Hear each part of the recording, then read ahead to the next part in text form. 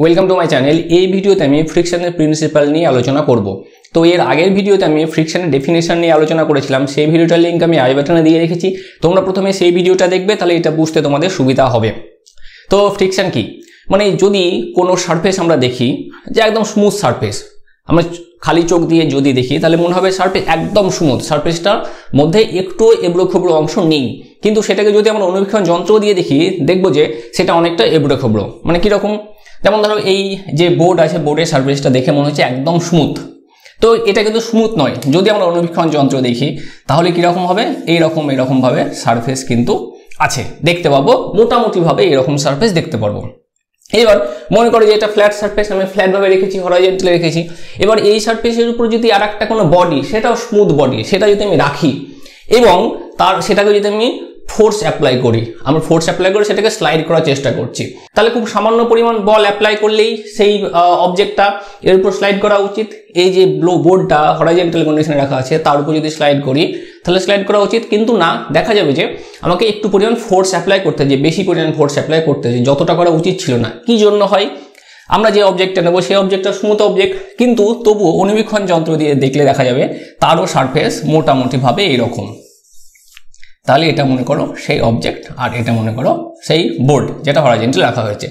তাহলে দেখো এই যে দুটো সার্ফেস আছে, এবড়ে খবরের সার্ফেস অ্যাকচুয়াল এবড়ে খবরের সার্ফেস যেটা আমরা অনুবীক্ষণ যন্ত্র দিয়ে দেখতে পাচ্ছি। তাহলে যখন এটাকে আমি স্লাইড করার চেষ্টা করব ফোর্স অ্যাপ্লাই করে পি ফোর্স অ্যাপ্লাই করে, তখন কি হবে? এই যে অংশগুলো আছে একে অপরের সাথে ইন্টারলকিং কন্ডিশনে চলে যাবে। ফলে যখন আমি ফোর্স অ্যাপ্লাই করব, তখন এই যে ইন্টারলকিং পোর্শনগুলো আছে, সেগুলোকে থামানোর চেষ্টা করবে। মানে কি? একে মুভ করা মুভ করার চেষ্টা করছে কিন্তু একে ইন্টারলকিং করে একে থামিয়ে দেওয়ার চেষ্টা করছে।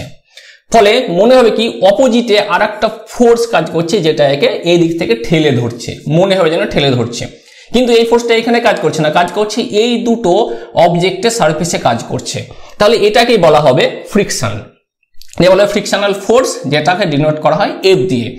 এফ কীভাবে কাজ করে? এফ কাজ করে আমি কোনো অবজেক্টকে ঠেলছি বা ঠেলার চেষ্টা করছি, সবসময় তার অপোজিটে কাজ করবে। যদি কোনো বস্তু মুভ মুভেবল কন্ডিশনে থাকে কন্টিনিউয়াসলি স্লাইড করছে বা রোলিং করছে, তখন অপোজিটে কাজ করবে ফ্রিকশনাল ফোর্স এটা হলো এফ আমরা ডিনোট করিয়ে দিই।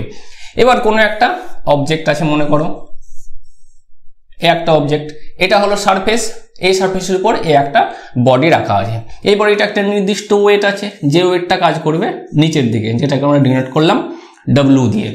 এবার এই যে বডিটা আছে, এই বডিটা যেহেতু এই সারফেসের উপরে একটা ফোর্স অ্যাপ্লাই করছে। ডাব্লু ওয়েট মানে একটা ফোর্স অ্যাপ্লাই করছে। তো নিউটনের থার্ড ল অনুযায়ী আমরা কি জানি? প্রতিটা ফোর্সের সমান এবং অপোজিট রিয়াকশন আছে। তাহলে এর ফলে যে সারফেসটা একটা রিয়াকশন ফোর্স অ্যাপ্লাই করবে, সেটা কাজ করবে উপর দিকে। সেটাকে আমরা ডিনোট করব আর দিয়ে। আর কে কি বলা হচ্ছে? আর কে বলা হচ্ছে নর্মাল রিয়াকশন আর হলো নর্মাল রিয়াকশন এইবার মনে করো এই বডিটাকে আমি এই দিকে পি ফোর্স অ্যাপ্লাই করে মুভ করার চেষ্টা করছি স্লাইড করার চেষ্টা করছি। যখনই স্লাইড করার চেষ্টা করছি, যখন এটা মুভ করতে যাবে বা মুভ করছে, তখন এই যে কন্ট্যাক্ট সারফেস আছে, এই কন্ট্যাক্ট সারফেসে ফ্রিকশনাল ফোর্স কাজ করবে। যেই ফ্রিকশনাল ফোর্সটা কাজ করবে এই সারফেসে এবং এর অপোজিটে কাজ করবে, যেটাকে আমরা ডিনোট করব এফ দিয়ে। এটা যদি কোনো হরাইজেন্টাল সারফেসের উপরে এই বডিটা থাকে, তখন এই রকমভাবে ফ্রিকশনের যে প্রিন্সিপাল সেটা কাজ করে। এবার যদি কোনো বডি ইনক্লাইন সারফেসে থাকে, মনে করো এটা হলো সেই সারফেস এবং ইনক্লিনেশন অ্যাঙ্গেল হলো আলফা এবার বডিটা আছে এখানে। এখানে বডিটা ইকুইলিব্রিয়াম কন্ডিশনে আছে।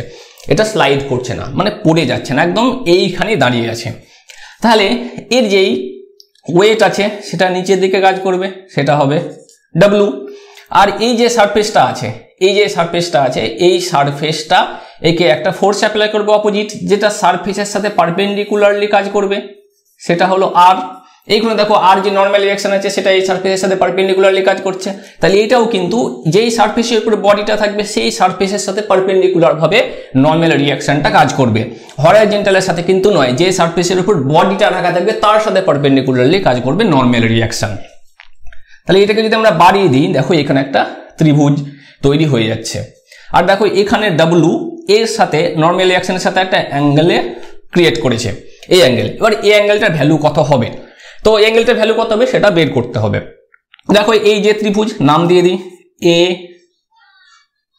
বি সি মানে এই বড় ত্রিভুজের কথা বলছি।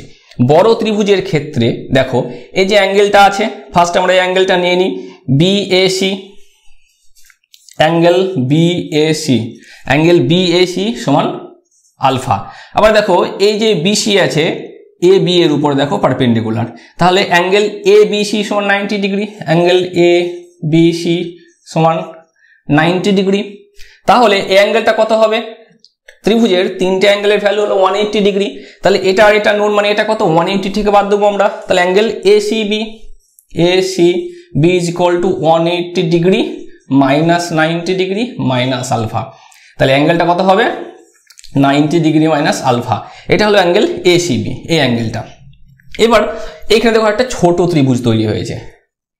ছোট ত্রিভুজের এটা ডাব্লু এটা এই হরাইজেন্টাল মানে এই সার্কেলের সাথে পারপেন্ডিকুলার তাহলে এই যে অ্যাঙ্গেলটা অ্যাঙ্গেলটা নাইনটি ডিগ্রি। আমরা একটা নাম দিয়ে দেবো। এটা হলো ডি আর এটা হলো ই তাহলে এবার ত্রিভুজ সি সিডিই এই ছোট ত্রিভুজের ক্ষেত্রে। ট্রায়াঙ্গেল সি ডি ই এর ক্ষেত্রে। এটা কোন ত্রিভুজের ক্ষেত্রে ছিল? এটা ছিল ত্রিভুজ এ বি সি এর ক্ষেত্রে ছিল। এবার এ ত্রিভুজের ক্ষেত্রে, দেখো কিছু অ্যাঙ্গেল আমাদের গিভেন এটা angle C D E angle C D E সমান কত? নাইনটি ডিগ্রি এটা নোন তারপরে আর কি অ্যাঙ্গেল অ্যাঙ্গেল দেখো D C E D C E সমান কত? আমাদের অ্যাঙ্গেলটা বেরিয়েছে দেখো আগে। সমান এটা। এই অ্যাঙ্গেলটা অ্যাঙ্গেলটা নাইনটি মাইনাস আলফা তাহলে এই ক্ষেত্রে অ্যাঙ্গেল ডিসিই নাম। সমান কত? Ninety degree minus alpha. তাহলে এবার দেখো এ অ্যাঙ্গেলটা বেরিয়ে যাবে আমাদের। অ্যাঙ্গেল সিইডি অতএব অ্যাঙ্গেল সিইডি কত? ত্রিভুজের তিনটে অ্যাঙ্গেল হলো one eighty degree minus ninety degree minus ninety degree minus alpha. তাহলে এখানে দেখো one eighty minus ninety degree minus ninety degree plus alpha. তাহলে এটা হয় আলফা। তাহলে এ অ্যাঙ্গেলটা হলো আলফা। অ্যাঙ্গেলটা বেরিয়ে গেল। মানে অ্যাঙ্গেল যদি আলফা হয়, তাহলে এই যে ওয়েট আছে ওয়েট নর্মাল রিয়াকশনের সাথে আলফা ডিগ্রি অ্যাঙ্গেল করবে, যদি ইনক্লিনেশন অ্যাঙ্গেল আলফা হয়। এক্ষেত্রে আলফা হলো ইনক্লিনেশন অ্যাঙ্গেল এবার দেখো এটা এই এই কন্ডিশনে স্থির আছে। এবার এটা যদি মুভ করতে শুরু করে, এটা যদি স্লাইড করতে শুরু করে অটোমেটিক্যালি স্লাইড করছে। তাহলে স্লাইড করতে যদি শুরু করে, তাহলে ফ্রিকশানটা কোন দিকে কাজ করবে? ফ্রিকশনটা তখন কাজ করবে উপরের দিকে কাজ করবে। ফ্রিকশনটা মানে এটা পড়ে যাচ্ছে, কিন্তু একে ফ্রিকশনটা কি করছে? একে থামানোর চেষ্টা করছে। ফ্রিকশনাল ফোর্স একে থামানোর চেষ্টা করছে। এবার এটা যদি পড়ে না যায়, যদি পড়ে না যায়, এটাকে যদি আমরা উপর দিকে টানতে থাকি, আমরা উপর দিকে টানছি, উপর দিকে পি ফোর্স অ্যাপ্লাই করে একে টানছি, তখন কি হবে? তখন ফ্রিকশন কি করবে? একে থামানোর চেষ্টা করবে। তখন আবার ফ্রিকশন অপোজিটে কাজ করবে। তখন ফ্রিকশন অপোজিটে কাজ করবে, যেহেতু টানছি আমরা স্লাইড করছি। তাহলে কোনো একটা বডি যেদিকে মুভ করছে, তার অপোজিটে সব সময় ফ্রিকশনাল ফোর্সটা কাজ করবে। তাহলে এই হলো প্রিন্সিপাল অফ ফ্রিকশন তো আশা করি প্রিন্সিপাল অফ ফ্রিকশন সম্পর্কে তোমাদের কনসেপ্ট ক্লিয়ার হয়েছে। তো এই ভিডিওটি দেখার জন্য ধন্যবাদ। এই চ্যানেলের আরও আপডেটেড ভিডিওর জন্য এই চ্যানেলটিকে সাবস্ক্রাইব করো।